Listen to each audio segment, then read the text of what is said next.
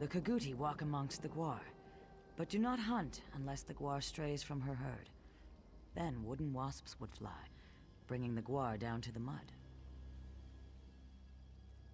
The Kagouti gore the hist to drink its sap. In the hamlet, a tree dies screaming. In the mire, a tree goes mad. The Guar watch the Kagouti, but do not understand. A weapon once gifted to the Wasp children. Bound in blood, it slips through the Hist's streams. Tree blood burns, and Tree dies a lonely death removed from its sisters. The Guar thanks the mighty Wamasu for its mercy. The Kagouti thought themselves clever to coat their tusks with poison, but the tree knows all. Its roots will soon feed on the Kagouti who burned its blood.